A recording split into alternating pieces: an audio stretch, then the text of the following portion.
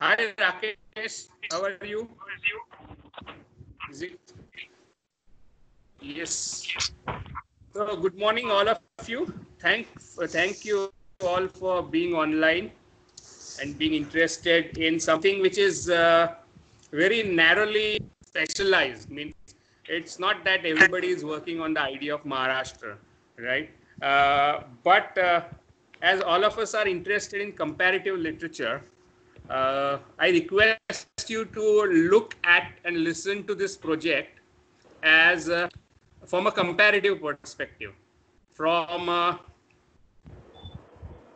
point of view of your own projects. Because the bigger argument, the larger argument that I'm developing is uh, will be definitely of some use to your own uh, ideas and own research projects that you're working with. So even if we are going to discuss one region, one language, and one literary history, there are parallels to be found in almost all uh, uh, languages, regions, and histories across the subcontinent. It may be Gujarati, it may be Tamil, it may be Tamil is being very different, but uh, Gujarati or Marathi and Hindi, Bengali will have some parallels because there are a lot of histories that we share, a lot of uh, cultural histories also that we share, political histories that we share. So you will definitely find some parallels. But my presentation is more about mode of thinking about how do you understand relationship between region and nation. Uh, so uh, this is part of my ongoing project. It's part of the book that I have worked on just now. I am, I am in process of editing that book and the book is Critical History of Marathi Literature, written in English. And the very fact that it's written in English implies that there is a comparative angle to it. Means even a person working on Punjabi literature will find parallels and connections. Will find what we say grounds for comparison between uh, various uh, cultural histories. Uh, and this is also one of the presentations that I made for a seminar. So I think some of you have already heard this presentation once. Like I remember Jay, Jay Jivani and Kesha were uh, present when I made this presentation at a national seminar. So for them, it's a kind of just re revisiting the whole thing once again. So let's uh, begin. Uh,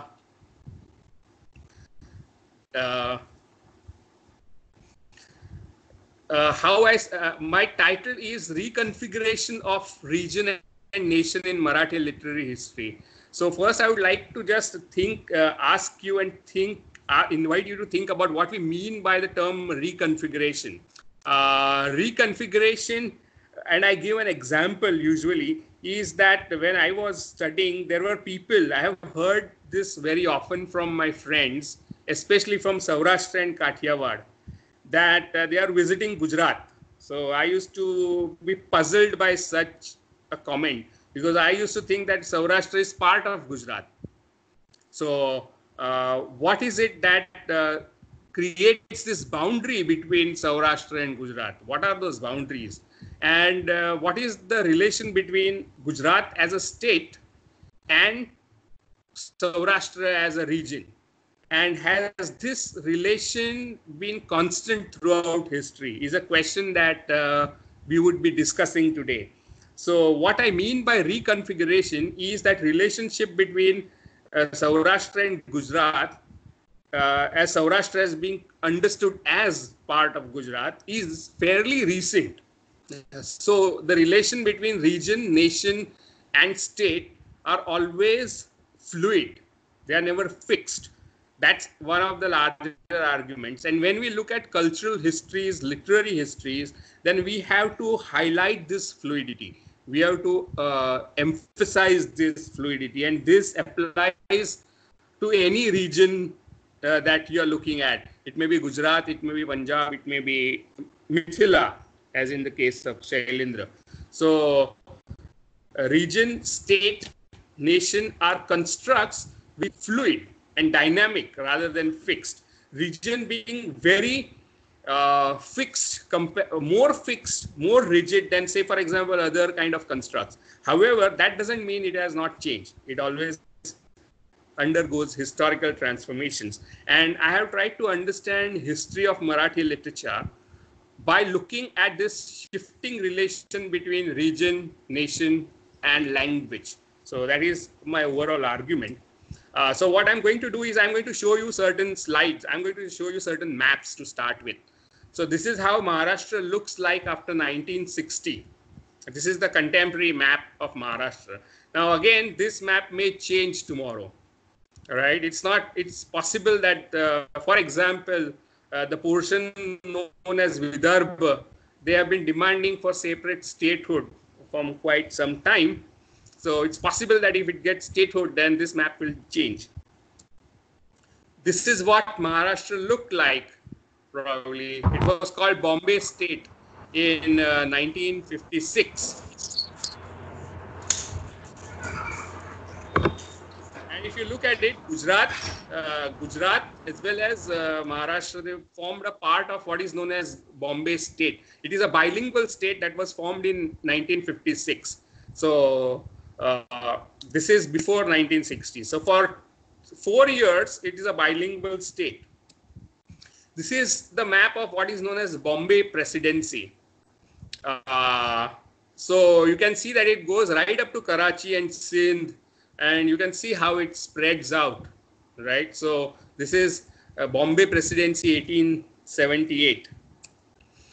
This is the map of uh, something called Maratha Empire, which actually it is not an empire. It's more like an area controlled by the Maratha, right? Empire is slightly different political constructs. You may think of Mughals as empires, but this is what people call Maratha empires, and this is the high point of that period. And you can see that it goes all the way up to uh, Attock, right?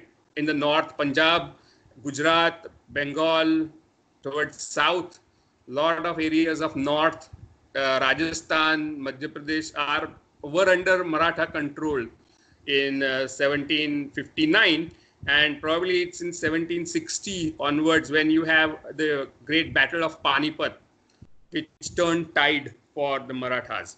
So this is one map. This is kingdom of Shivaji.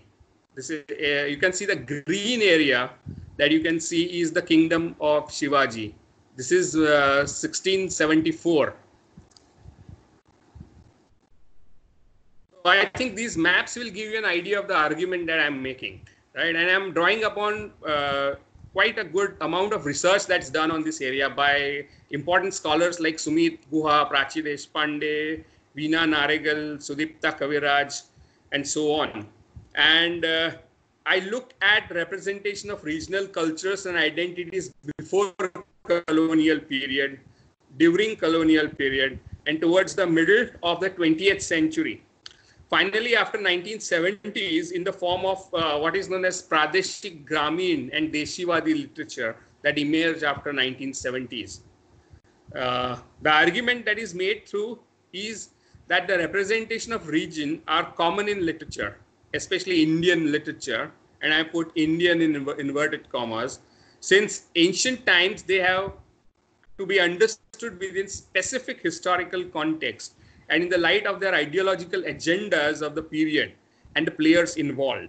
And another suggestion that I'm trying to make is that regions do not pre-exist literary discourse.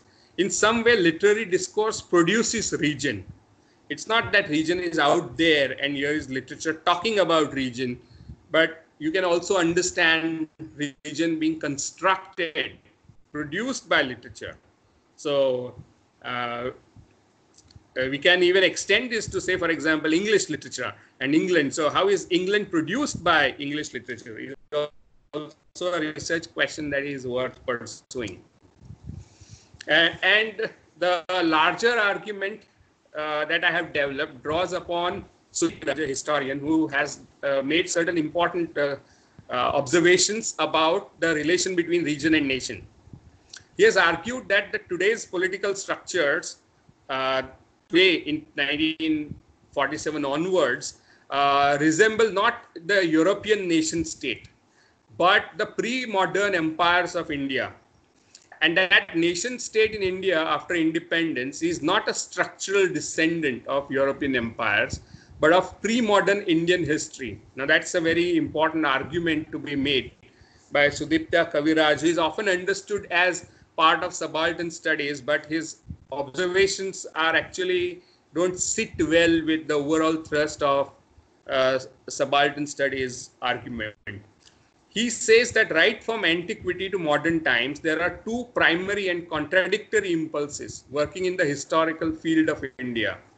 There are two impulses. First is the imperial impulse, which rises from the intermittent empires that seek to impose a relatively unified set of political institutions.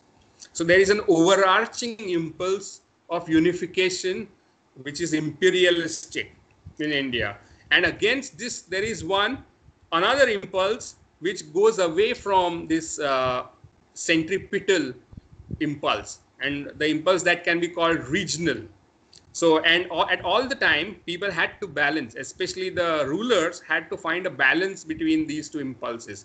Like the Mughals had to deal with the regions, and uh, Mughals used to have uh, intense conflict of various regions. For example, Punjab, for example, Marathas, and so on and later the British and the durability and intensity of feelings around regions like Bang, Kalinga, or Vidarbha.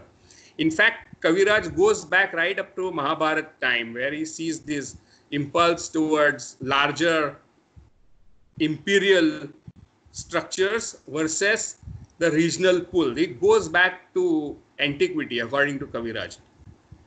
And British colonial government tried to strike balance between these two impulses. The political structures in India, therefore, according to Kaviraj, continue to develop complex pattern of rules and legislative orders stretch across three planes at the three levels. So you have a staggered kind of political structure in India right from ancient times of locality, province, and nation to produce a stratified political sphere. So let's now, in the light of this uh, staggered or stratified political space and these contradictory impulses that go back right up to times of Mahabharat. Let's try to look at Maharashtra as a region, Maharashtra as a language, and Maharashtra as probably Rashtra, uh, which is very interesting thing. Because once we say Rashtra, then the idea that comes to our mind is Bharat as Rashtra. But Rashtra was often used for regions like Saurashtra, like Maharashtra, so what does the word Rashtra even mean? So the earliest reference to Maharashtra is in uh, uh, the Sagor district of Madhya Pradesh, which does not fall under the modern Maharashtra, right? And uh, there was a Shaka uh, Shaka ruler called Satyanag, and uh, there, there he talks about how he calls himself Maharashtra, that he is the ruler the famous Indian astronomer and mathematician Varahamihir in 6th century mentions the word Maharashtra for a person from Maharashtra. And in the 10th chapter of Bruhat uh, Samhita, Dandi in the next century would say that the language is spoken in Maharashtra is Prakrut, by which he meant Maharashtri Prakrut. And there is also a reference to Maharashtra uh, in uh, Yuan Tsang uh, as Mohalacha. In the 10th century, the famous Sanskrit poetician Rajashekara would call his great grandfather Maharashtra Chudamani or the Maharashtrian crown jewel. And that would indicate the, the region of Maharashtra as what is was known in those days as Dakshina Path. It's a region that connects north with the south. So it's a path, Dakshina Path. However, the geographical territory that the term Maharashtra designates is not all that obvious. It, we are unable to clearly uh, have a map of Maharashtra. What do they even mean when they talk of Maharashtra? Let's look at Marathi language. And you can see that the emergence of Marathi language predates that of Yadav period. Uh, and there were a lot of uh, inscriptions right from 9th, 8th, 9th century onwards written in Marathi and found in various places outside contemporary Maharashtra. You, and the most famous one is in the Shrava, in the Bahubali uh, shrine in Shravan Belgod. That's one of the earliest, probably first inscription in Marathi. Chamunda Raje Karavile. That's one line written under Shravan Begol uh, shrine of Bahubali, which shows the relation between Jainism and Mar- Marathi a language and an idea that has not been sufficiently explored. What is the we all of us are familiar with influence of Jainism on Gujarat, which is quite overt and but uh, relation of Jainism and Maharashtra is not very well explored. And uh, representation of region uh, comes up in the great sectarian writing. And uh, one of the earliest sectarian uh, writing is uh, from the sect called the Mahanubhava. Uh, and uh, writers like Mahim Bhatta, Mahim Bhatta, and Narendra. And from Nath Sampradaya like Mukundraj and the Bhagwat Sampradaya, the Varkaris as we call them. And uh, you have saints like Jnaneshwar and his great circle of followers consisting of Namdev, the Shimpi, the tailor, Janabai, who is Namdev's maid, Gora Kumbhar, Sautamali, Chokha the untouchable devotee, Narhari Sonar, the goldsmith, and Sena Navi, the barber, and Kanhopatra, the dancing girl. If you look at all of these, then these are in some way belong to the lower uh, orders of Varna system. Uh, Jnaneshwar himself was an outcast, so he strictly does not belong to the upper caste. The Mahanubhavas are uh, not much is known outside of Maharashtra about the Mahanubhavas, but they uh, that's a 13th century religious movement uh, that uh, is alive even today. And in North, they are called as Jai Shri Krishni. Their sampradaya is also called Paramarga or Man. They were the first to choose Marathi as language of literary expression, and they were also the first to ascribe religious meaning to the whole region that they call Maharashtra.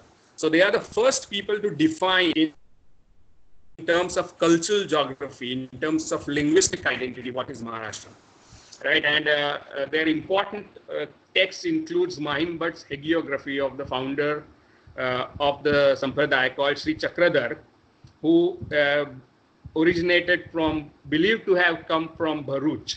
So connections between Gujarat and Maharashtra go back long time. And uh, Chakradhar used to use Gujarati very often when, when people came to persecute him, especially the Yadavs uh, who found uh, Mahanubhav Sampradaya as a kind of irritant.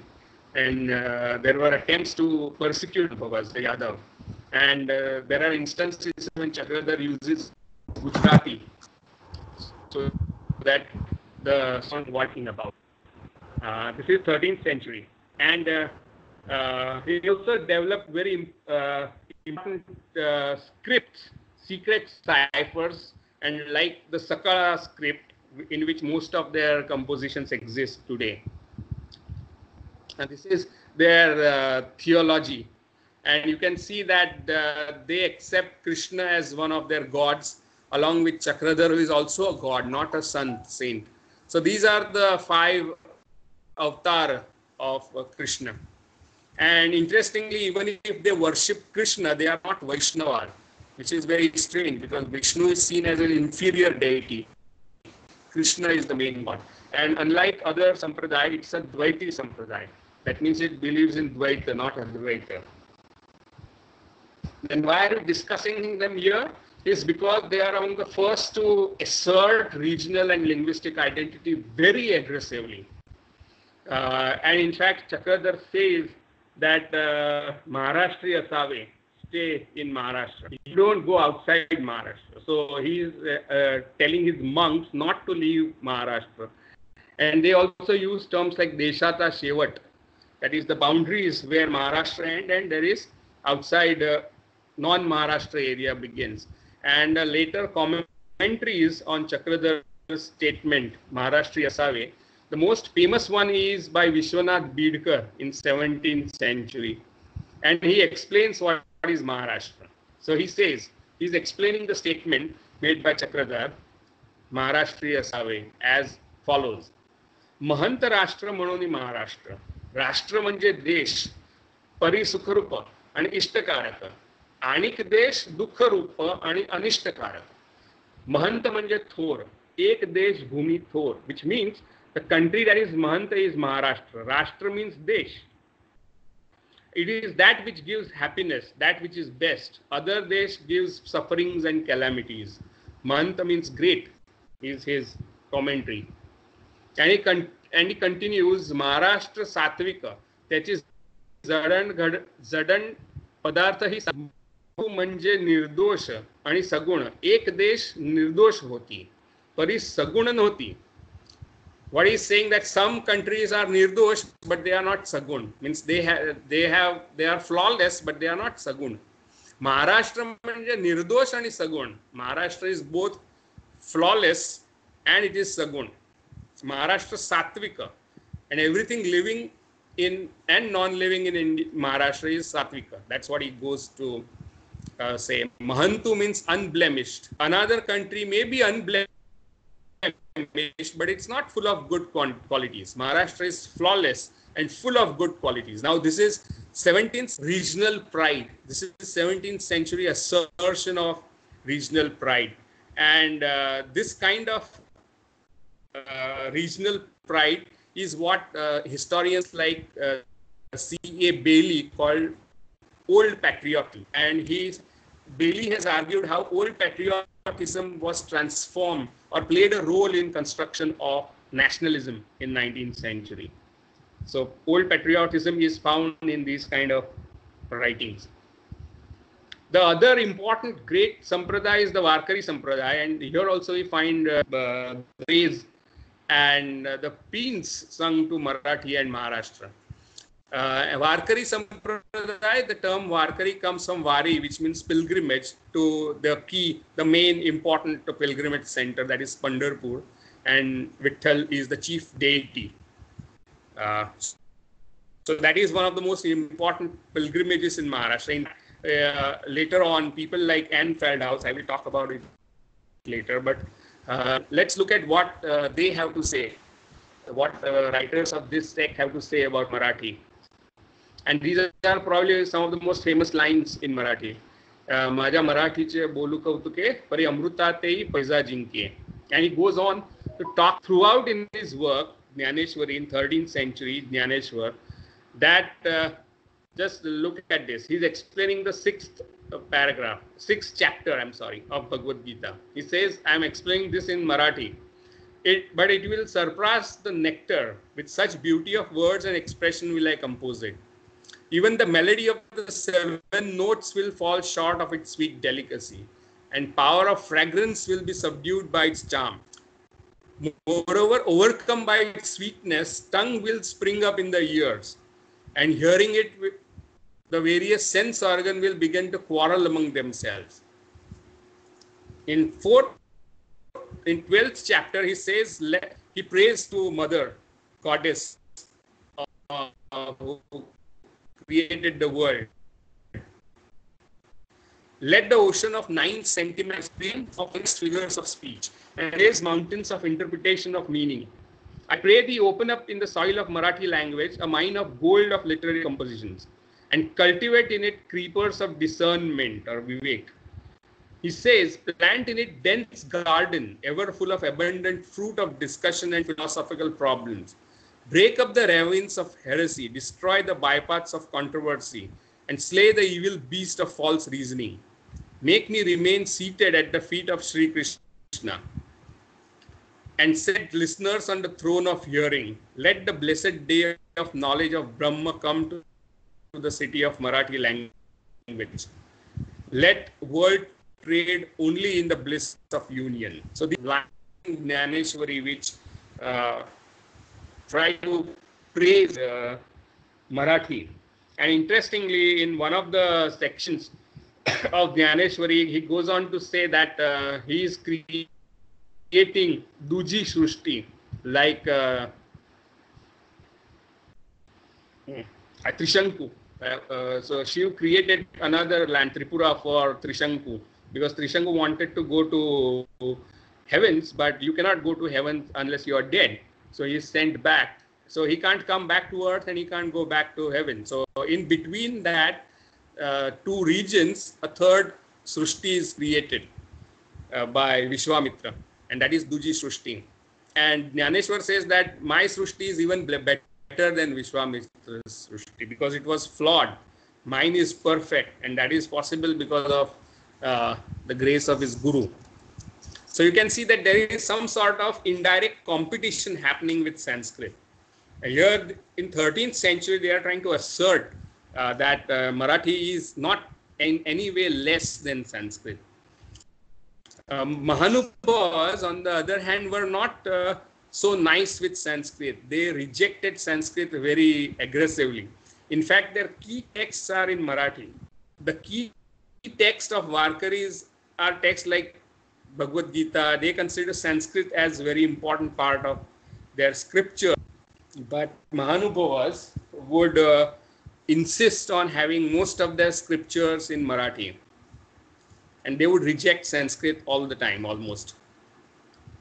So, so how does Maharashtra emerge in 13th century? And it emerges through cultural practices like pilgrimage. It emerges through literature. And Anne Feldhaus, one of the most important researchers uh, on Maharashtra, has said this in her analysis of pre-colonial pilgrimage practice that many regions that intersect in the area of modern Maharashtra do not. Uh, uh, I'm sorry.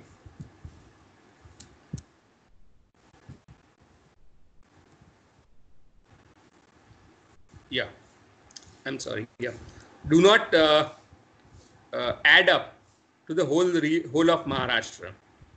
The geographical boundaries of what is understood as Maharashtra have always been historically fluid and complex. She demonstrates that the construction of modern Maharashtra as a geographical territory, however, coincides with the Varkari pilgrimage practice. So when the map of Maharashtra is drawn today, the first map that I showed, in some way coincides with the pilgrimage practice. So you can see that all the roads lead to Pandharpur in Maharashtra. So how do you define the map of Maharashtra is through the pilgrimage practice right from pre-13th century times till today. So how Maharashtra is produced by pilgrimage and ritual practice is what she is trying to emphasize.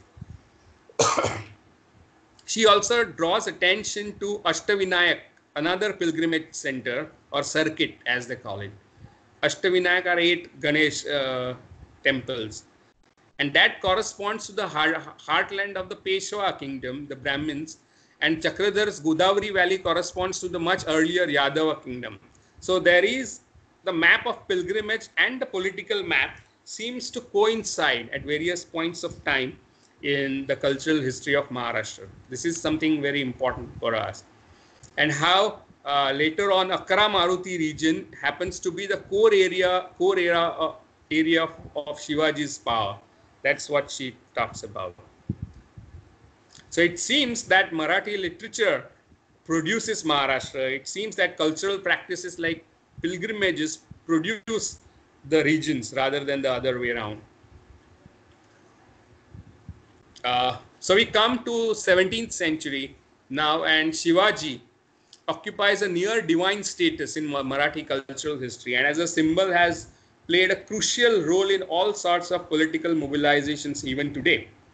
As Prachi Deshpande demonstrates, the ideology underlying Shivaji's actions forms the core constructions of Maratha past. The legend of Shivaji forms the core of what she calls historical memory. Historical memory as being distinct from modern historiographical practices is what we need to understand because what we have is um, historical memory can be found in the films dealing with Maratha past it may be found in the novels. It may be found in popular histories, amateur biographies, historical fiction, poetry, performance, and polemical tracts. Now, these are not strictly positivist historical historiographical practices, but they are a very important part of memory of the society and community. And that's why how past uh, affects contemporary politics is what she is trying to explain. And this is where the role of literature, films, performance, biographies, everything, poems come into play, which is not strictly history. In the 17th century, we also see that uh, Maharashtra before Shivaji was largely under monetized and less populated agrarian economy. So there is an economical shift happening with the rise of the new political Maratha elite. And the ideology of new patriotism brought about significant shift in Marathi literary repertoire. And these shifts can be seen in the emergence of powerful traditions of the Bhakti Shahiri Kavya and in the domain of in the domain of popular culture and pre-colonial historiographical practice called Bakhar in bureaucratic circles. So we uh, usually we have often heard that India did not have history. But if you look at uh, 17th century, then you see that there is historiography emerging in Marathi language. And uh, most of the time, modern historians have been dismissive about this kind of historical practices, historiographical practices. That means practice of writing histories has been dis- they have dismissed it as a kind of legendary or mythological. Uh, uh, so they don't accept these as strictly histories in the Western sense of the term. So many scholars have asked this question: Did India have theories of history?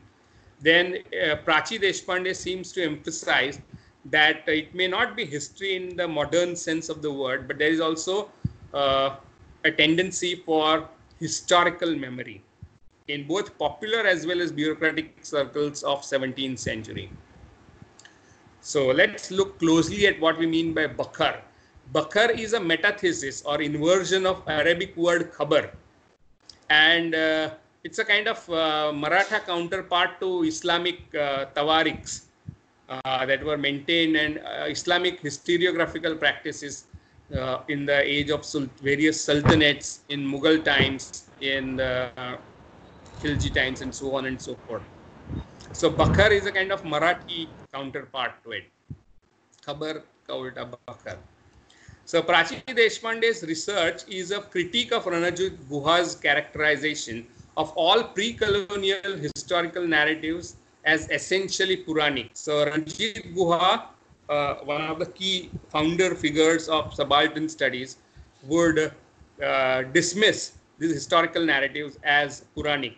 She argues that these, these narratives represent a historiographical practice distinct from Puranic perspective, as they remain, in spite of literary and Puranic tropes, grounded in immediate environment and circumstances and feature events and personalities of the recent past. Uh, and this is where the term Maharashtra Dharma emerges. And uh, why is this term very interesting? Is because though it seems to be very old, uh, many uh, political parties, even in 2019, would evoke uh, Maharashtra Dharma as their political ideology in Maharashtra today. So, what is Maharashtra Dharma? And the reference to the term Maharashtra Dharma is first found in the earliest Bakhar, written probably in 15th century, called uh, Mahikavatichi Bakhar or Mahimchi Bakhar. And it's history of Konkan region in the medieval times. So, what is Maharashtra Dharma? So, before coming to the idea of Maharashtra Dharma, let's uh, move slightly ahead to 19th century. And we see historians uh, discussing uh, 19th century and uh, emergence of modern nation state in 19th century.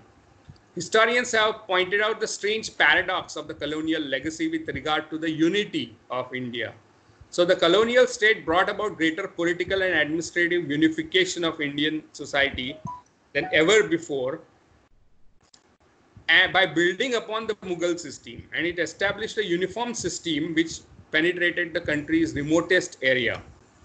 They also evolved a common educational structure, which in time produced an India wide intelligentsia, which shared a common outlook on society and polity. They also combined the formation of a unified economy and development of modern means of communication. So you can see on one hand uh, as uh, Sudipta Kaviraj had observed, that there is a tendency to balance this uh, regional impulse and imperial impulse. And uh, these tendencies, uh, I think the British were the most successful in maneuvering them, and that's why they were so powerful. So you can see the centripetal and centrifugal tendencies that they unleashed. So on one hand, they tried to bring about greater unity in the society. On the other hand, to maintain this unity, they would play caste against caste, class against caste, Hindus against Muslims, princes and landlords against the national movement, and so on and so forth. So they tried to divide and rule and unite and rule at the same time. So that's the paradox of colonialism. And we are many of us are familiar with this whole idea of nation as an imagined community. That uh, introduction of print technology and education system in the 19th century enabled the elites of that period to imagine a community that is not face to face, a community that unites uh, Punjabi with Tamil and with unite Bengali with Gujarati. So this community, however, is not does not exist in real. It, it's not a tangible reality, but it exists as imagined community. So this is the famous uh, formulation of how nations come into existence given by Benedict Anderson. And uh, it is followed by Partha Chatterjee's critique almost decade later that nature in India and nation in Europe cannot be seen as a kind of same thing. There are important historical differences uh, and those historical differences are that the nation in India is a product of anti-colonial movement. At the same time, it's also part of a multilingual society. So while European idea of nation would be largely monolingual and it won't be anti-colonial. in fact, it would be pro-colonial, right? Nation in India emerged in an anti-colonial move as a part of anti-colonial movement.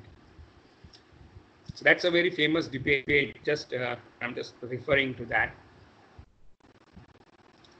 However, Anderson's discussion of how standardization of language was critical to project of imagining a nation remains still pertinent to us. So this was also the period when languages like Marathi, Gujarati, Hindi were being consolidated in their modern form. They were standardized because of their bureaucratic needs as well as educational needs, needs of technology and printing. Okay, so this is also the time when the bhakti texts, which were mostly performative or written, they were part of kirtan traditions very often, or they were part of akhyan, uh, how they were transferred to the print domain, in the domain in which nation is being imagined. So bhakti becomes part of nationalist imagination in the 19th century. So what was sectarian becomes national in the 19th century. And uh, all, this is also the point when folk uh, enters into print and becomes a kind of marker for authentic nationality. So folk as a category emerges in 19th century in India. So Lok Sahitya is a Marathi or Gujarati equivalent of folk. But the category called folk did not exist before 19th century in Indian languages. So you won't find word Lok Sahitya in Marathi or Gujarati before the colonial uh, history. This is what Kaviraj has said about modernity and identity politics. Nationalism evidently bears a special intimate historical connection with modernity because national community was an identity unavailable in earlier political imagination. So political imagination in 16th, 17th or 13th century did not imagine on nationalistic lines. So right up to 1857, you may have heard of uh, Rani of Jhansi Lakshmi Bai saying, "मैं मेरी Jhansi नहीं दूंगी." Right? It's not our India so much, but however, people interpret that history as nationalist history. Uh, but in those days, it was not available for people. So modernity does not merely add the form of nation state to earlier repertoires of identity. It seems to do something fundamental to structure and nature of identities in general, is what he says. So before the coming of modernity, people had identities, but uh, they were fuzzy. That's the term he often asks. And he also talks about philosophical schools uh, which talk about know thyself, but that's more of a spiritual self uh, as adhyatmic self, atma, rather than a self as a political or social entity.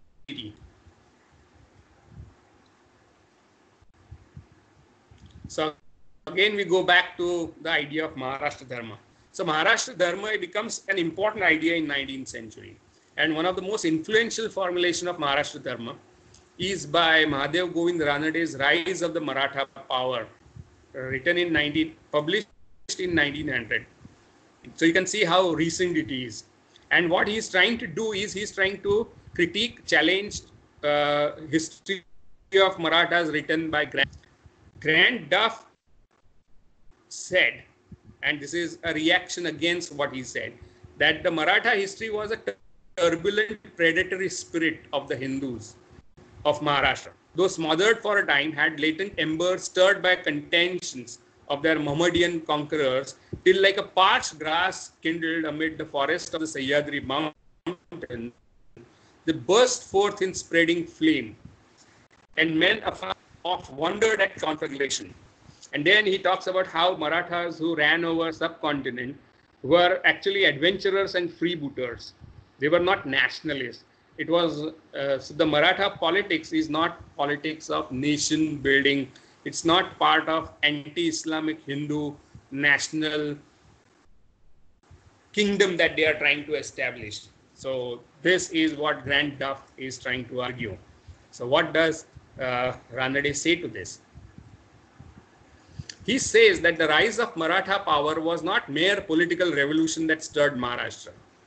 He said that it was preceded and to some extent caused by a religious and social upheaval which moved entire population. This upheaval was not entirely a reaction to the religious persecution, but was like the Protestant Reformation in Europe in the 16th century there was a religious, social, and literary revival, reformation in Maharashtra, in India, but most notably in the Deccan in the 15th and 16th century. This religious revival was not Brahminical in its orthodoxy, it was heterodox in its spirit of protest and was work of people, of the masses, not the classes. At its head were saints and prophets of uh, society, like tailors, like carpenters, like potters, gardeners, shopkeepers, barbers, and even mahars, more often than Brahmin.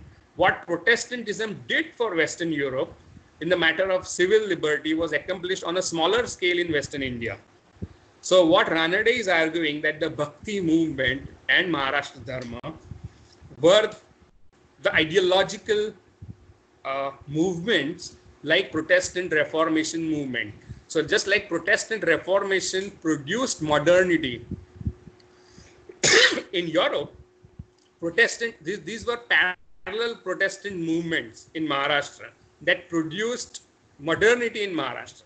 That's what he's trying to say.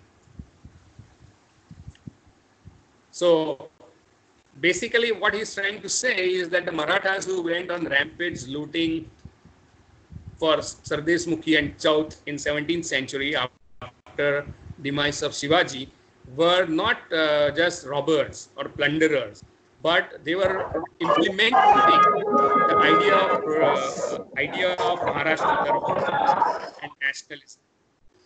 Another important thing that Ranade is saying is that this bhakti, this Maharashtra Dharma, is not the Vedic, it is it is the dharma of ordinary people, people from lower castes. It's like Reformation, this movement succeeded in liberating national intellect from thraldoms of scholastic learning.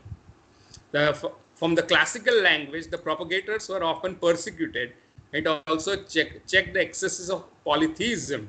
This is very interesting because he is trying to say that Bhakti was also trying to check excesses of polytheism in India. This movement raised the Shudra classes to the position of spiritual power and social importance almost equal to that of Brahmin. This culminated in Samarth Ramdas preaching in 17th century to unite all the Marathas, propagate the Maharashtra Dharma. This Dharma, according to Ranade, is not the orthodox Vedic uh, religion, but heterodox reformist Dharma of Marathi vernacular saints and prophets. This is extremely influential reading of Bhakti and pre-colonial past. So the idea that Bhakti was a form of Protestant reform was in fact popularized by Protestants themselves. And Ranade was in fact himself deeply informed, influenced by Protestantism. In fact, uh, Prarthana Samaj that he founded was in very many ways very similar to Protestantism. But the idea that bhakti is Protestant was given by Protestant priests themselves. In 1843, Reverend J. Stevenson had argued that Marathi bhakti was influenced by Portuguese Roman Catholicism, which is a very strange thing to say because a, you are saying that it's influenced by Catholicism. In 1849, Reverend John Mitchell had provided the summary and analysis of Mahipati's biography of Tukaram, saying that the moral tone of bhakti differs from genuine Hinduism and it frequently appropriates to that of the Christian system. In 1867, Alexander Grant, providing translation of Tukaram's Abhanga, would suggest a comparison between Bhakti Hinduism and non-conformist Protestant theology. So Ranade is actually repeating very many, many Protestant priests themselves were saying about bhakti. But in contemporary times, there is a critique of notion of Maharashtra Dharma. Recent historians such as Prachi Deshpande and Stewart Gordon point out that the idea of Maharashtra Dharma is also a later day construct. It's a 19th century construct according to uh, Stewart Gordon. Gordon notes that the artifact of the later researchers, Maharashtra Dharma as an artifact of later researchers, and whose articulation is found not only in the texts that predate Shivaji by 400 years and has no connection with Shivaji, the notion of Maharashtra Dharma details only relation between caste and not any sort of Hindu political program. So what he points out that Maharashtra Dharma is often used as a caste, Varna Dharma in Bakhars. It's not a political program uh, uh, of uh, nation building in those times, as Ranade seems to imply. Scholars like Veena Naregal has pointed out that such nationalist narrative is an example of naive historicism. It is obvious that Ranade's thesis is a nationalist reaction to Grant Duff's history. And not just that, in his efforts to enlist the sympathy of the representatives of conquering British power in his fortunes of worsted rival. Very interestingly, Ranade is also trying to enlist sympathy of British and at the same time counter their argument about Marathas. He constructs, interprets the cultural history on the lines of European Reformation and the rise of nationalism in the West. So he's saying that there is a rise of nationalism in Mar- Maratha, Maharashtra, which is parallel to the rise of nationalism in Europe after Reformation.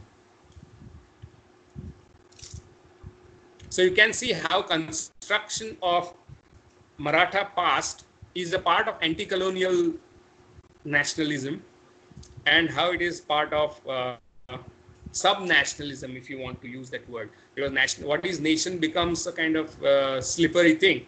Uh, uh, when you say Rashtra, Maharashtra is Rashtra, then what about the bigger Rashtra called India? So there is always, not always very uh, simple relationship between Rashtra and Saurashtra or Maharashtra. There's always, very often you find tension. Marathi fiction from 1940s, and this is where I'm looking at uh, the 20th century Marathi literary history uh, from 1940 started showing greater engagement with the region.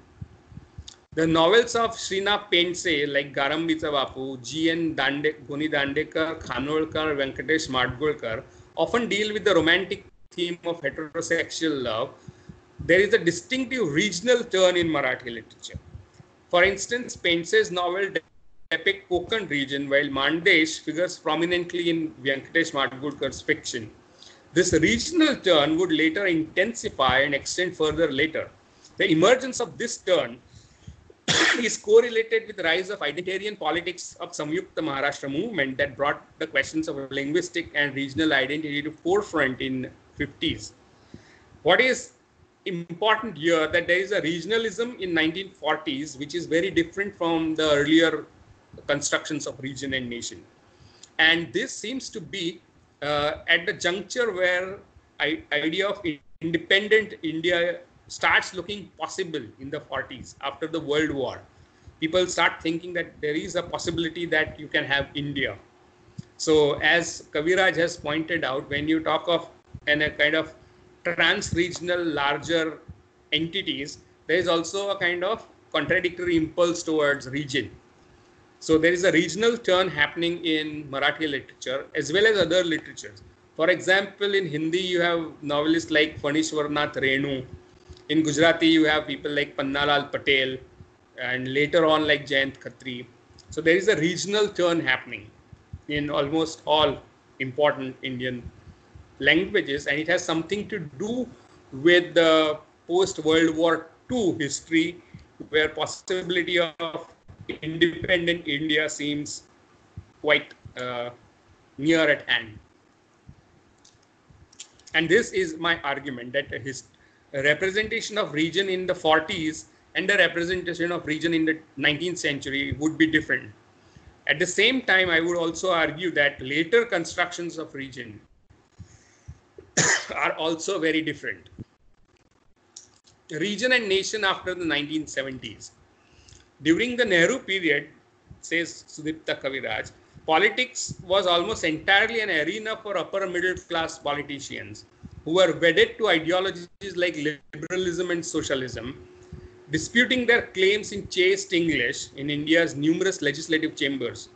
But by the late 70s, they were, they were substantially replaced by politicians from the lower social strata with less or more vernacular education, more whose political imaginations and practical preoccupation were startlingly different. So Kaviraj is trying to point out that the politics after 70s, especially after the emergence, dominated by what we often call the other backward classes or non-elite upper caste politicians start gaining prominence after 70s and their political imagination was largely through vernacular and it is in this context that we have to understand how regionalism emerges in Maharashtra after 70s. Uh, uh, and that uh, uh this phase like Pradeshik, Gramin, and Deshivadi in Marathi literature emerges after 75. Something similar happens in Gujarati. Uh, there is a representation of village and region during Gandhian movement. I'm sorry. Uh, but after 70s onwards, there is a kind of reaction against Gandhian village. So you have Anugandhian village, which is not an idealized uh, space of essential India, but as more realistic, oppressive structure, feudal in nature. So you have a different representation emerging of region in Marathi as well.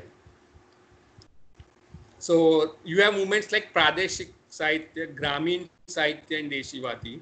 These movements like they come on the aftermath of Dalit literature.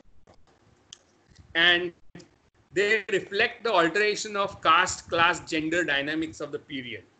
According to Harishchandra Thorat, a new middle class emerged after 1975 that was not predominantly urban or upper caste, like the old middle class. And it is this class that has become center of cultural activities in Maharashtra after 1975. The upper urban upper caste of older middle class also went transformation and became more pragmatic and they moved away from cultural sphere into emergent fields like small scale industries media new technology and the job market abroad creating space for new middle class from the Bahujan sections. So what thorat is pointing out that literature up to 1975 is predominantly brahmin predominantly urban predominantly particular type of brahmin right? But after 75 it shifts because uh, this hegemony seems to be displaced in both political as well as in cultural spheres by this new middle class from Bahujan sections of society. This new class also gave rise to narrow identity based on region, caste, language, and gender instead of a forward looking perspective. It encouraged a glorification and revival of the past. In spite of constant highlighting of the urban and non urban divide, Thorat states, the growing urbanization actually suppressed the regional and local identity.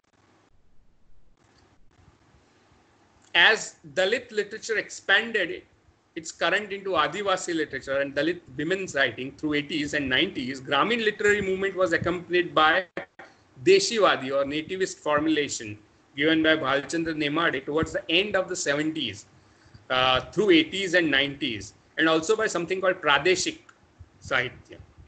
And Pradeshik and Gramin are different according to the scholars.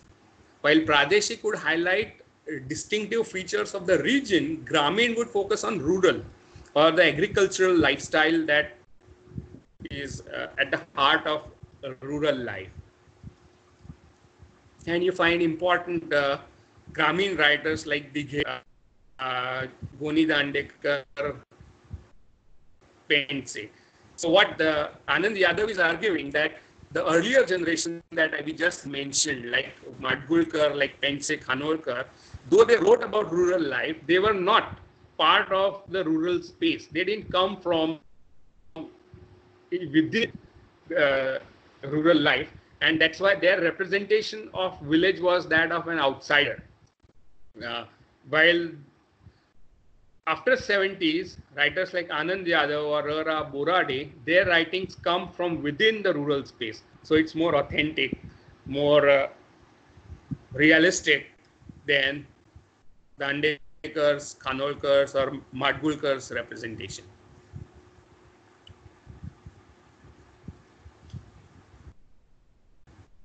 So while Dalit literature foregrounded caste as an oppressive category, Grameen literature ought, uh, sought to highlight marginalization and neglect of rural life, not in only in literary domain, but also in the developmental model of state politics that used the vote pool of rural Maharashtra while promoting urban industrialization and service sector. The fact that its emergence as a movement coincides with Sharad Joshi's Shetkari Sanghatana and movement in the late 70s sheds light on the social and cultural context of this movement.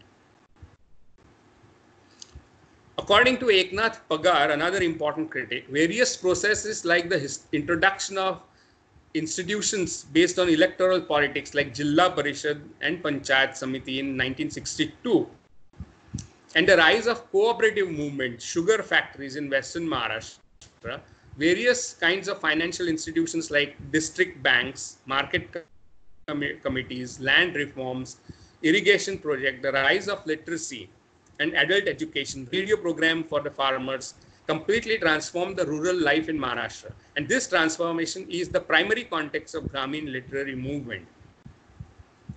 The altered rural politics also became major focus of the writings of Grameen writers like Shankar Patil, uh, especially his novel Tarfula, Uddhav Shelke's Dhag, Dhag uh, Hamid Dalwai's Indhan, Borade's Pachwala, Anand Yadav's Gotawala, Mahadev मोरेज एकोण एकोणीसावी जात and बली दमा Mirajdar's humorous short stories stories by Bhaskar Chandanshiv नाद Mahanor's poetry and songs of Bahinabai Chaudhari explain ग्रामीण sensibility and Grameen is different from Pradeshik, as I have discussed but critics have pointed out that distinction between what is Pradeshik and Gramin is a fuzzy one. While there is emphasis on cultural life, flora and fauna of a particular region in Pradeshik liter literature, in Gramin there is a tendency to emphasize agriculturist life. So this brings us to the question of uh, uh, Deshiyata and Deshi. And Deshivad is one of the most influential uh, ideologies to emerge in the 80s with Bhalchandra Nemade as his uh, lead figure. So Nemade makes a distinction between Deshi Deshiyata, Deshikaran and Deshivad. And also lays down scope and limitations of Deshivad. Explaining that Deshi means belonging to the land, Nemade points out that all cultures, societies, cultural traditions have specific regional dimension and historical distinctiveness that make that gives them a sense of identity. These dimensions constitute nativeness or deshiyata. So this is what gives it deshiyata, the specific regional cultural, the regional coordinate of all cultural tradition. How cultural tradition is connected to a particular region. That is what gives it, makes it native, deshi. He, it should be pointed out that term deshi and native are not really equivalent. Native is often used for human beings and when the term is used for man-made cultural product cultural phenomena like literature it can only be metaphorical in nature. Native is a person who is born in particular place right? So when we are transferring this into literary domain it's a metaphor another metaphor that functions as a non-metaphor in nativist rhetoric is the metaphor of roots. Plants and trees have roots. People move as they have been for millions of years, a fact that Nemade does not highlight. So this ideology arises in a situation when foreign culture seeks to impose its values upon that culture in form of resistance to that foreign culture. So it's a kind of identitarian. Nemade goes on to give examples from pre-colonial period where Jnaneshwar and Bhatobas, that's he's an important uh, figure in Mahanubhava literature, asserted Marathi against hegemony of Sanskrit, implying that nativism is not primarily post-colonial phenomena, but has continuities with pre-modern forms of regional assertion that we have been discussing right from the beginning of the presentation. So while regional assertions in India against imperialistic impulse have longer histories, as Kaviraj has pointed out, to assume simple continuity between modern and pre-modern assertion of regional and linguistic identity is ahistorical.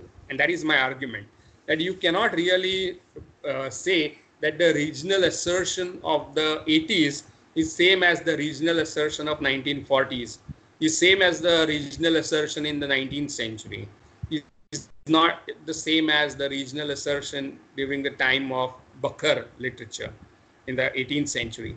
Is not same as the Mahanubhava assertion or Varkari assertion in the 14th or 13th century.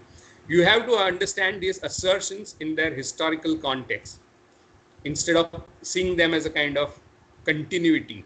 And that's the problem with nativism, that it becomes ahistorical at times. Larger historical context for emergence of nativism in Marathi is decline of Nehruvian ideology of modernity based on internationalism, anti-traditional westernization and massive industrialization after the emergency war with China and Pakistan. So that is the historical context of nativism. And uh, my reading of nativism is uh, in contrast to Nemade's idea of nativism, where he says that even 13th century nativism or assertion of regional identity is the same as assertion of regional identity after death of Nehru.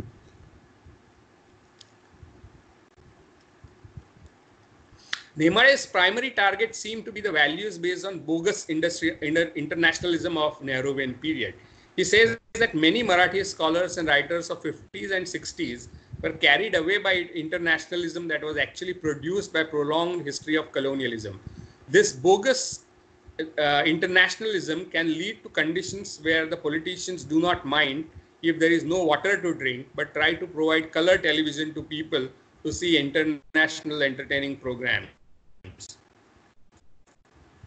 This distinctive regionally bound cultural system, the Deshi system according to is the primary context of any literary text there can be no international literature which can exist independently of its native context. So he goes on to say that Shakespeare did not write for Indians.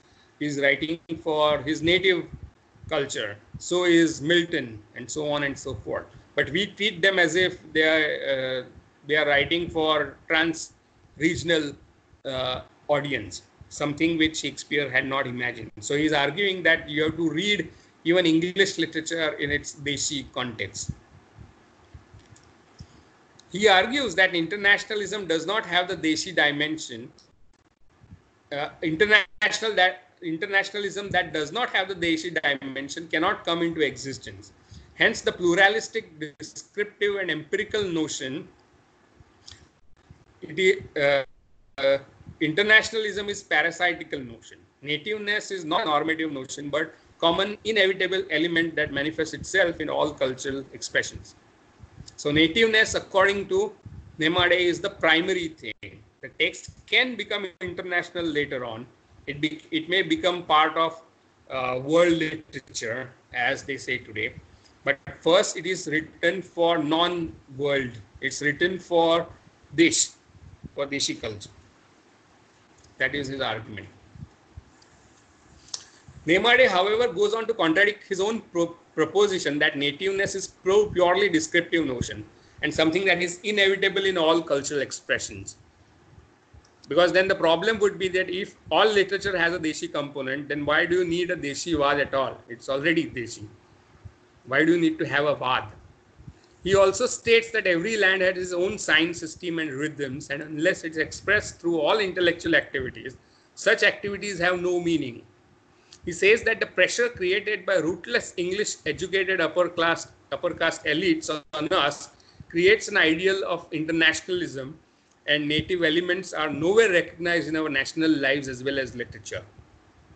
Hence, drawing upon Ralph Linton and cultural anthropology, and it's very interesting how nativism draws upon Western ideas while arguing against them at all time. He argues that nativeness should be considered sacrosanct to be a native, according to Nemade, is to have knowledge and homogeneous, unified, complete awareness or bhan. So Deshi is bhan of what? An entire element of land that is Bhumi Tattva of all caste and racial groups of sects, religions, traditions, and coordinates of space and time. Paradoxically or contradictorily, he is saying that one is native and yet one needs to have nativeness which seems to be a contradictory term. He's saying that everybody is a native, and then he says that one needs to be native. So that's the primary contradiction in Nemade's position. Then he has gone to talk about what are the native values, and he is unable to figure out or pinpoint which are those native values. As a literary text, he argues, is produced within a specific geographical location and within the distinctive language of a social group belonging to that location it cannot be evaluated according to international values like those of formalist criticism, but has to be evaluated according to native values. And its contribution to spiritual development, adhyatmic unnati of that particular society and its linguistic innovation. So the values that he talks about, native cultural specific values are adhyatmic unnati and then that can apply to anything so terms like spiritual development and linguistic innovativeness are abstract values that can be found in post-Hegelian Germany as well as Merdeka's Maharashtra. So the values that he calls native are so abstract that they can be found in any any society and hence what these native values are specific to particular desh is something that all nativists including Nemade are unable to explicitly state. Besides, the formalist school would not have any serious problems with these native values because formalism never opposed the idea of spiritual unnati or even linguistic innovativeness. Basic problem with post-colonial nativist position based on cultural relativism is inability to come up with articulation of what these native values actually are. Uh, so when you talk of cultural relativism, what are the values which are specific to a particular community and whether they should be uh, followed at all or not is a problem of modern society. In their effort to reject hegemonic trans-regional cultural domains like Sanskrit and English, Nemade does not take clear-cut stand in terms of Perso-Arabic influence. Nemade and his followers fail to come up with any clear non-Sanskritized, non-anglicized native Marathi or Gujarati epistemological framework for literary criticism. They are not able to come up with any model of literary criticism which is based on native values. So it is something that we should be having, but you don't spell out what it is or why you should have it at all. However, Nemade's nativism is a symptomatic of larger ethical crisis of a post-colonial modernity. So it has to be understood within its own historical context. Nativism is in, inevitably dependent on the identitarian binarism between us and them. The problem of delimiting boundaries of our culture, our land becomes complicated.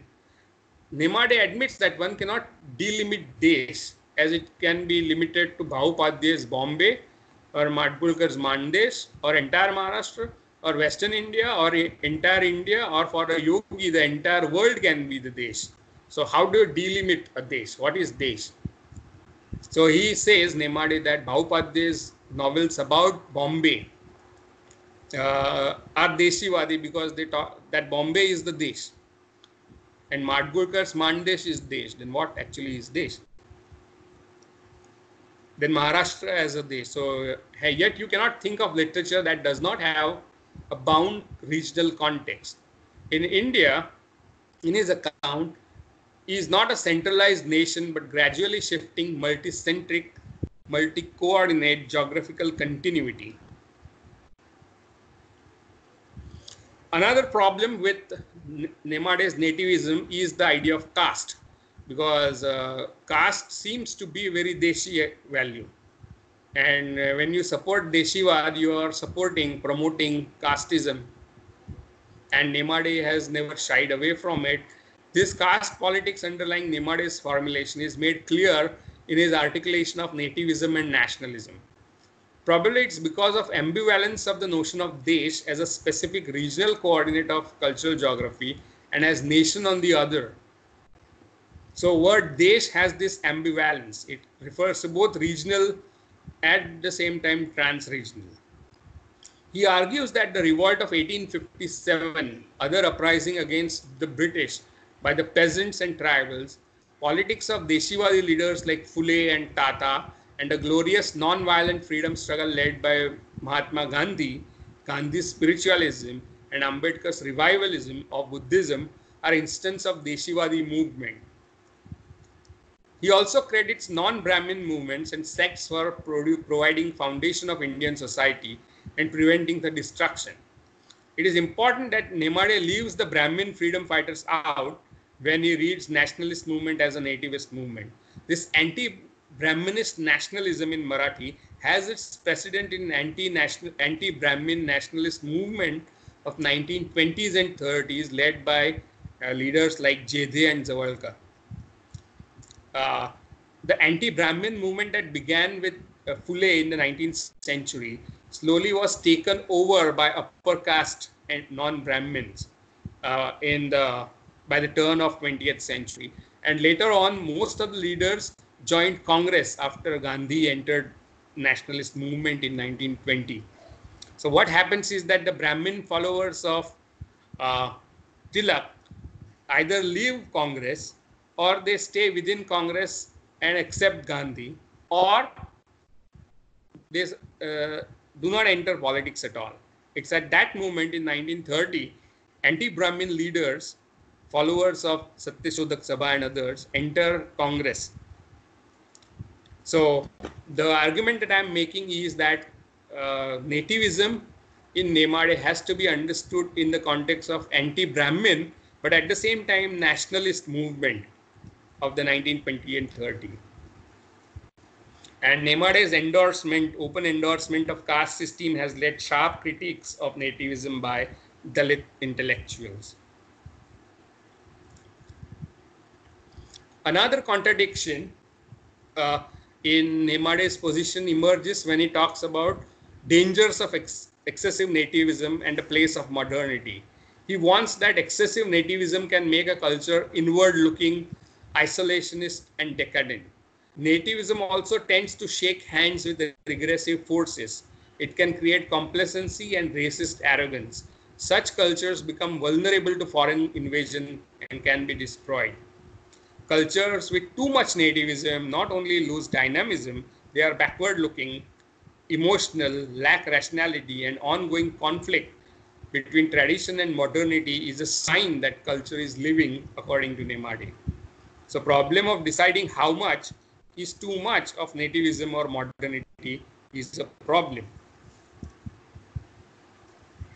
So this is uh, where I want to stop. Uh, one research question that needs to be further probed is what happens to imagining of region and nation after 1990s after globalization begins in a massive way? How do you imagine regions at all? How do you imagine cultures? How do you imagine nation in a virtual domain? Because the transnational trans-regional affects regional in more intense ways as we see today how a virus that emerged somewhere in heart of china has brought the entire world to its knees and region nation ka dichotomy rehta hi nahi hai right the hotspots are united all over the globe by a single virus so what you can see is that how do we imagine region nation today is a question that we need to inquire. There is no answer to it.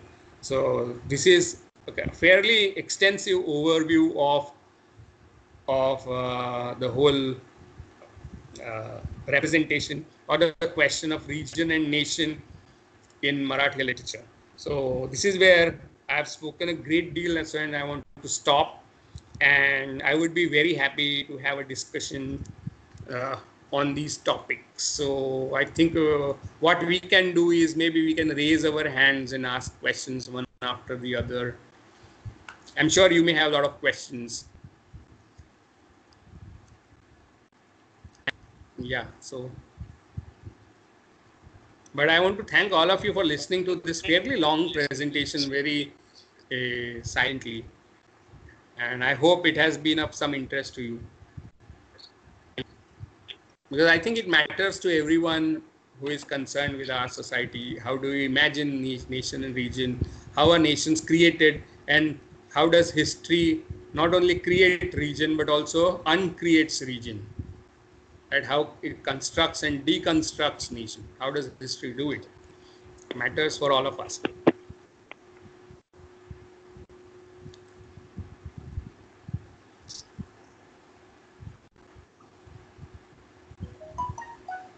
Uh, I think those people who have some problem with their videos can uh, post their questions in their chat. I think Bhageshri has this issue.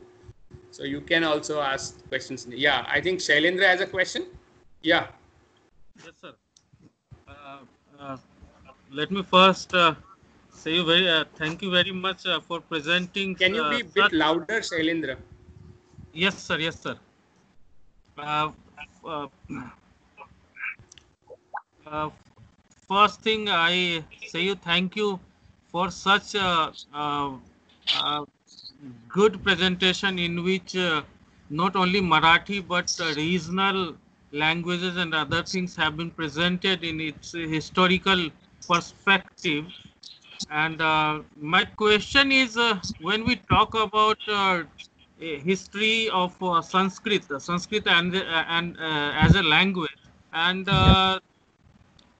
it got means uh, the regional languages has challenged its authenticity. Again, Shailendra, so can many, you be more loud? I think. Uh, I, uh, sir, uh, just give me two three minutes. Yeah. In between, you can take another question. I am just ready. No, no. What? Uh, no, no. I, no. Please finish your question. What I could get was regarding Sanskrit. Yeah.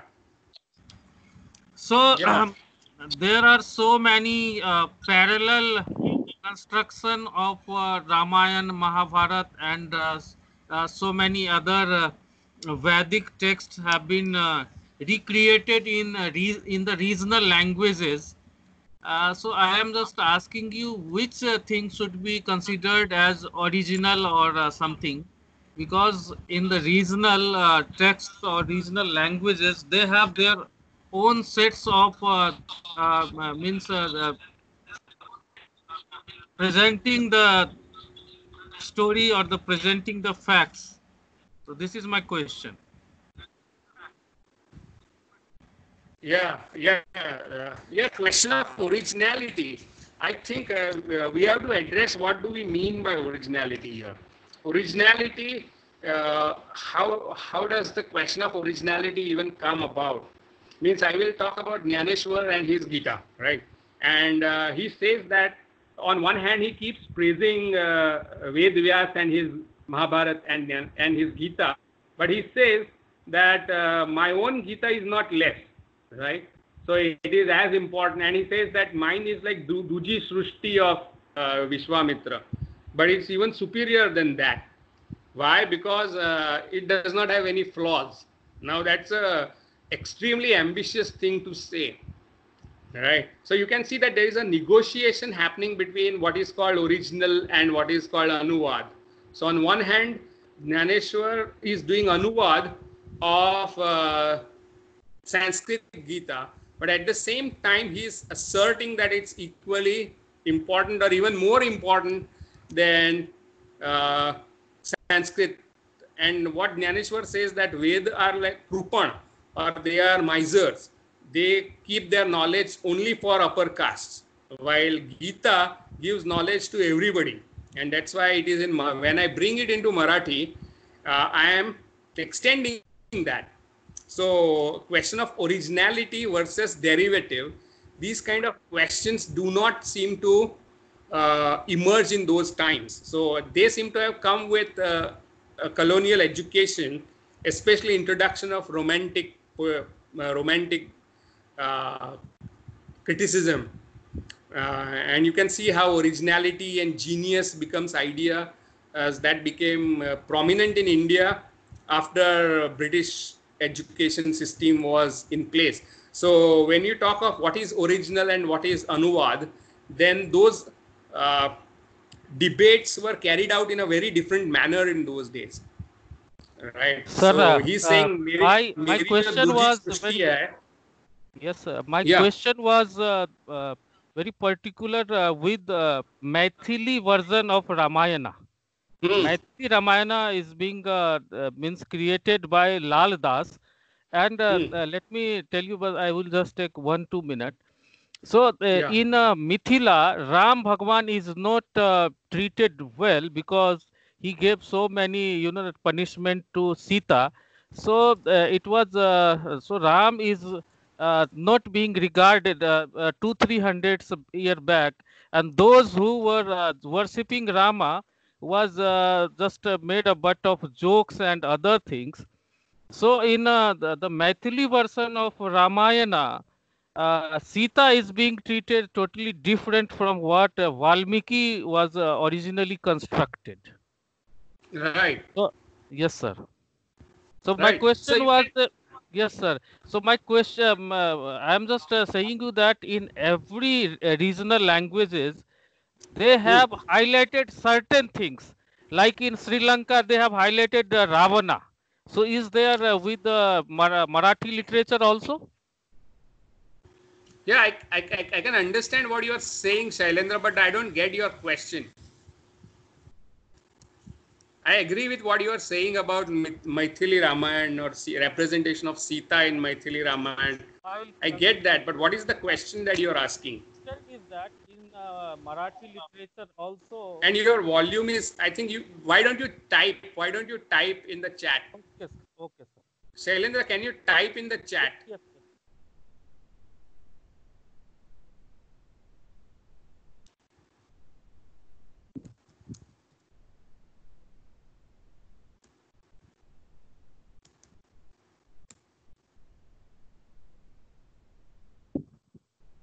Yeah, there are two questions here. One is from Bhageshri, and she asks, "Can you hear me?"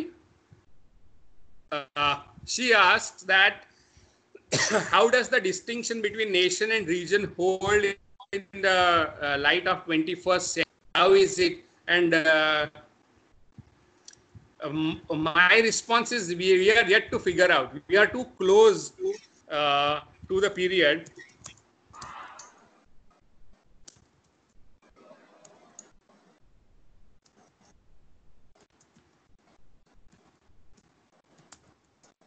understand dynamics between region and nation in 21st century. That's my response to Bhageshri.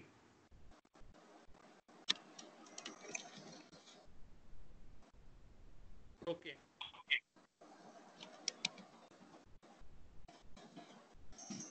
Yeah.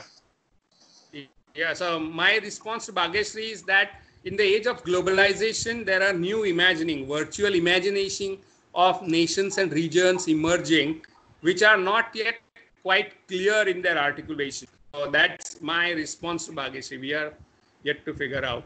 Uh, does that in some way address your question? And Bhavin has asked, as you said, Marathi replaces Sanskrit in 13th century. By doing so, replaces and destructs in large.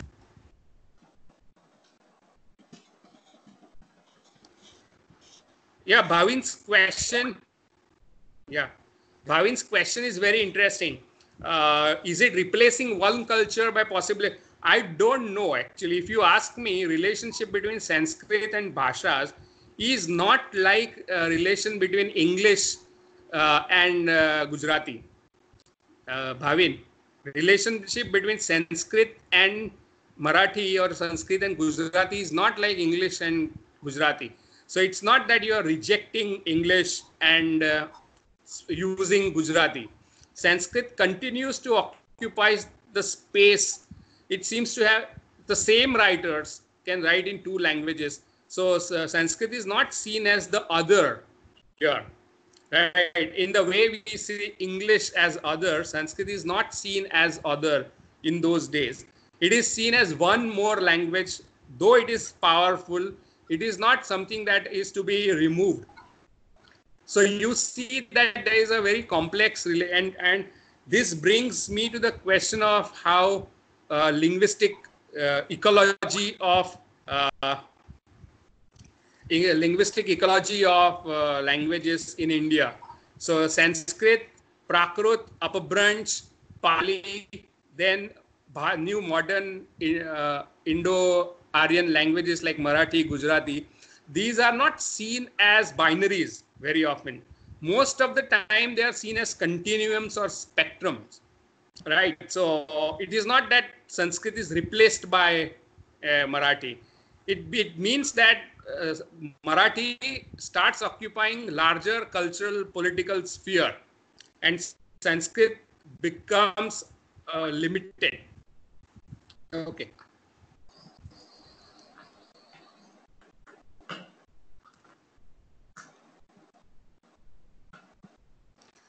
Uh, can you hear what I say? Uh, my response to Bhavin's question is this. Can you hear me? Yeah.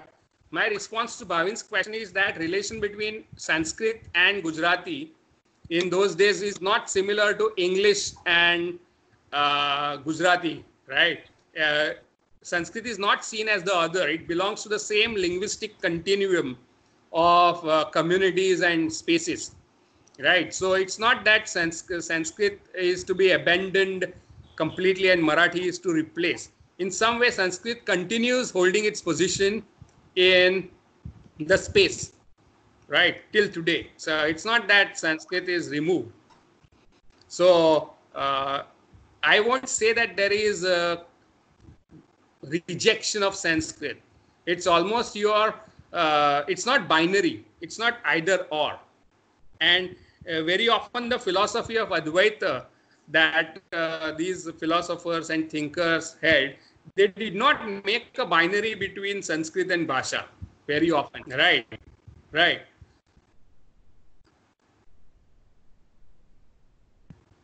Yeah. So, uh, huh. so how does this uh, new Marathi become dominant uh, according to people like Sheldon Pollock, these new vernaculars become dominant because of the political patronage. Right. So the rulers start using Marathi inscriptions. And he argues that the political upliftment of Marathi precedes literary upliftment. And Yadava uh, patronized Marathi and so did sultans, Bahmani sultans and uh, sultans after that, very often patronized Marathi as well as Dakhini and so on, uh, the languages of that continuum. And so uh, there is a kind of uh, rise of status of these Deshi languages. Uh, and Sanskrit seems to recede in the background. It's limited to the language of Shastrartha or uh, it's limited to Brahmins. So does that in any way? I think I have problem with the word deconstruction because it comes from a kind of Eurocentric perspective of binaries. And in Indian linguistic cultural situation, there are none. There is a spectrum of languages often in uh, conflict with each other right so i won't use the word deconstruction because uh, derrida is using it to subvert the binaristic metaphysics of western thought uh, which does not seem to be very applicable in indian context at least in linguistic terms. So i would say and uh, like many santas would say that bhasha and sanskrit are not different. When you believe in advait why do you create a new dvait for example? Right? And that is what certain Muslim saints have said in Marathi about Maharashtra. In Marathi that uh, Sanskrit and Marathi are not different; they're spiritually same. Same would apply to Islam.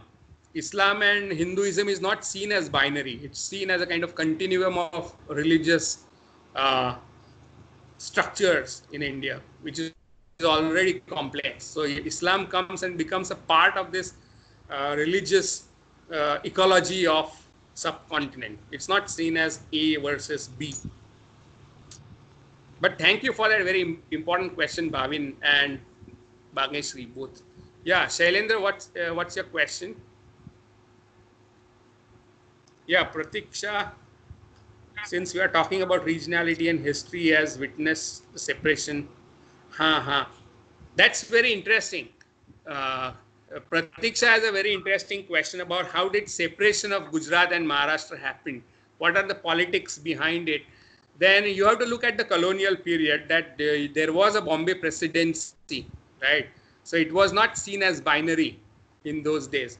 So it, happens towards 50s where people start demanding linguistic reorganization of states. Uh, that's why you have a Sanyukta Maharashtra movement, you have uh, Mahagujarat movement happening. So uh, this has to be understood in its historical context. And one context is the division of uh, Bengal in 1905 done by Curzon. And Lord Curzon uh, divided Bangla speaking region into two parts. And there was a movement for reunification of that uh, space. So in Marathi, at least, the people started having these ideas that you can reunify Marathi speaking areas. And so the idea of constructing Marathi, Maharashtra on lines of Marathi becomes a prominent idea after 30s, 1930s. But it becomes a movement only in 1950s onwards as a big movement. And then you have separation of state after Indian independence. Remember that. So does that uh, in some way answer so history is answer to many questions. Yeah. Yeah, what is the next question? Yeah, Dhiren. Uh,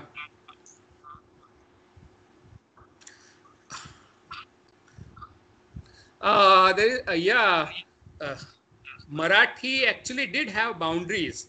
These boundaries were fuzzy. Dhiren, Dhiren is asking that Maharashtra as a region is a newer construct with the boundaries. Marathi literature did not may not have boundaries, but actually Dhirani did have boundaries, right? And so did Maharashtra as a region, did have boundaries. Means uh, Mahanubhav sect would in one place would use the ideas of Zadi Mandal, that in the north here this Zadi Mandal, and then they would talk about how to map Maharashtra because the God has said Maharashtri Asave. Don't leave Maharashtra is the injunction given by their god, Chakradhar. So you have to map out Maharashtra.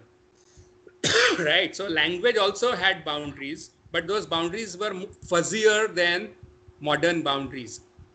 Uh, they, so there is again linguistic continuum. There is a boundary between Dakhni and Marathi, but uh, Marathi and Dakhni are languages closer than, say, for example, Urdu and Dakhni. Urdu and Dakhni would not be so close as Marathi and Dakhni, for example. So does that? So you cannot really compare it to Indian writing in English, Dhiren, right? Indian writing in English is a later 19th century phenomena. It has something to do with the word Indian, right? Can you see the word Indian in Indian writing in English? So there is an imagination of na nation which is trans-regional, but that's not the case with Marathi. Shailendra is asking any constructed any historical heroes contrary to uh, Sanskrit version very much. Uh, most important would be the Jaina Ramayana, Jaina Bhagavad, Jaina Mahabharata. For example, Krishna would become cousin, would become cousin of the uh, Lord Parshvanath. And because uh, Krishna has committed violence, he has to be saved by the Jain Tirthankar. So you can see the heroes become somebody uh, to be saved, right? So savior is the Jain. So you can see that uh, many uh, very interesting would be Mukteshwar, where he talks about Kauravas and the Kauravas would include topikars like Ingras, right? And Muslim Yavanas and Mlechar are part of Kaurava army right? And Pandavas. So in 17th century, Kaurava, the bad guys will include Portuguese and British. So you can see this is a very different Ramayana from the Valmiki. Yeah. Jui's, Jui's question is we consider the shifting boundaries of kingdoms in the centuries. How does regionality connect to the changing borders of kingdom? Right. Uh, that is very interesting because uh, if you look at Maharashtra, then the kingdom of Shivaji that comes up in the 17th century is far more recent than the cultural geography, Jui. Can you hear me, Jui? Yes. Sir. yeah. So the cultural geography of Maharashtra comes in 13th century onwards, and the political kingdoms uh, were divided in a very different way after Alauddin Khilji uh, takes over Maharashtra in 13th century. So after that, you have Delhi Sultanate. And what happens is uh, the great experiment of uh, Muhammad bin Tughlaq of transferring capital from Delhi to Aurangabad, Dev, Dev, Devgiri or Daulatabad. That's a very famous incident you all of you must be familiar with. So you can see that political kingdoms and political boundaries do not overlap so much always with region. But as Feldhaus has pointed out that it does, right? So there's a very slippery relation between cultural geography created by Sampradaya and political boundary. Sometimes it overlaps, sometimes it doesn't. Does it answer your question, Jui? It does. Thank you, sir.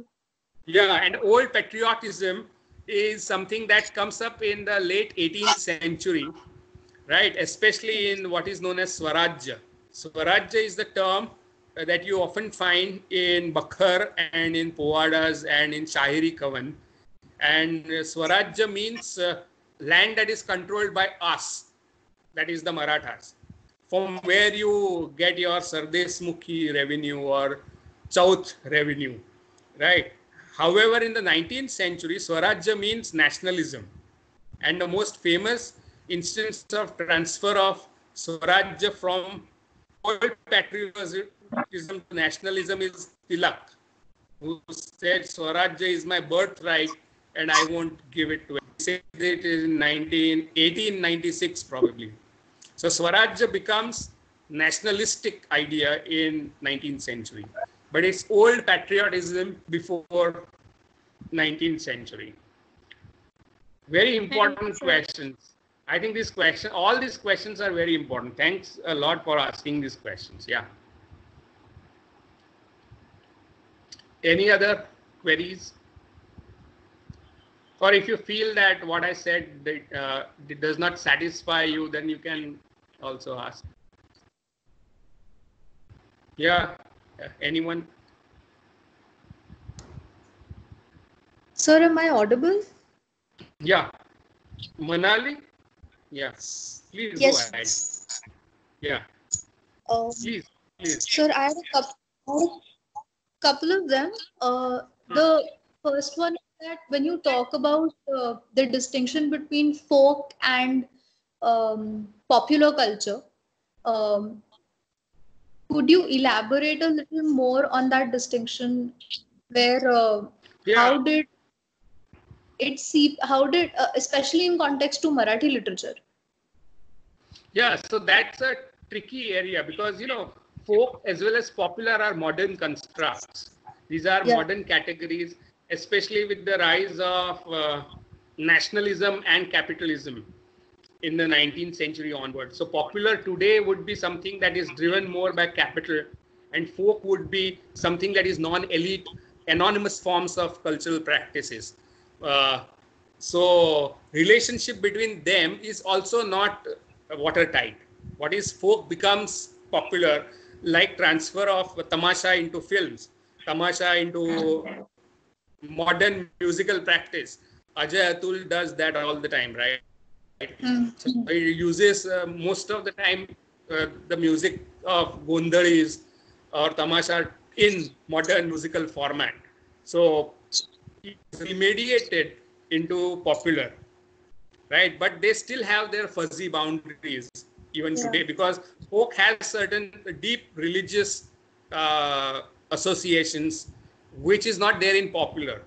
Uh, Gonda is a religious ritual, right, uh, in Maharashtra. While, we, while you use uh, that music in uh, a film, for a film, it no longer rema- retains that religious context. So they their territories are fuzzy, but they are not uh, one and the same. There is still distinction between them. And I was talking about probably Shahiri Kavan in the 17th century. That's an anachronism because there is there was no such thing like folk and popular in those days. Right? There were certain forms of practices. But what I meant was that there is Bakhar, which is limited to bureaucrats. Uh, while Tama, uh, while Shahiri Kavan is for poorer soldiers and general public villagers. So these are two different spaces which uh, Tamasha and Bakhar occupy. So in order to show these differences, I use those terms. Also, sir, since you're dealing with uh, comparative literature, if Hmm. we come to the uh, very words, uh, namely literature and sahitya, when you talk about Marathi literature and Marathi sahitya, uh, did you, uh, in the course of your research, encounter any differences in the two terms? very much. Means the very first chapter would be a discussion how sahitya and literature are two different categories right? sahitya would include uh, a lot of other things. For example vangmay would mean something else altogether so marathi terms are vangmay and sahitya while literature is a very eurocentric idea labele Yeah. letters right so you can see that in order to discuss these terms you cannot have equivalence at all but what you have to do is to find an approximate equivalent. So what would be the approximate equivalent to Sahitya and Vangmay in English? I have to do with literature, the term literature into inverted quotes, but then there is no other option. But I have to spell it out. I did spell it out as part of my research, but it's a very important question. Both the questions that you ask are very important.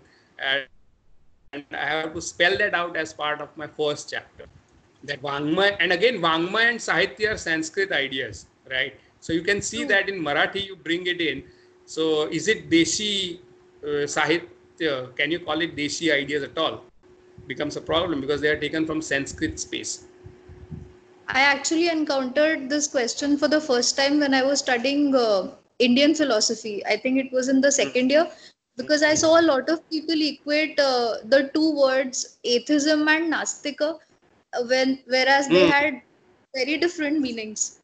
Uh, Very- that's why Very true. Question. It's like even Indian philosophy means philosophy as a body of discourse does not occupy the same space as darshan.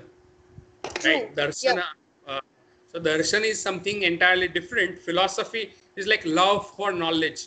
Right? Yeah. By darshan Yeah. you mean how you view this whole world and True. how do you see what is sacred. You go to temple to have darshan. Right? So darshan has a different kind of uh, uh, cultural meaning from philosophy. So we have to keep on uh, saying that this we are using this word for that, but they are not equivalent. So we have to spell these differences also. Very important, very true. Does that uh, address your question? Shall I take up the Uh, next one? So I had, Yeah, please. I just Yeah, one please. more. Uh, then then I'm done. Uh, No, you so can later on after. When we look at um, historiographic practices, uh, Hmm. we have, I mean, history would tell us that uh, the mm, uh, Middle Eastern uh, uh, empires had a lot of historiographic practices which they brought into India. Uh, when Mhm. you spoke about Bakhar, that was an example. Uh, what do you think would be a reason for um, such evolved practices of documenting history? Um, Hmm. And would you say that they did not exist in um, the uh, Indian context, specifically the Maharashtrian context, or the processes because the processes of documentation were very different? Um, they were not maybe uh, given due consideration or credit. Yeah, see, that is what I have said. I have said that there, there is a tendency among historians to say that India did not have history, right? Only Yeah. British came and they gave us history. But uh, as this Islamic historians have been doing, all the regimes, Islamic regimes had uh, a kind, they, they had their, on their role a historian who wrote about their histories, right? So historiography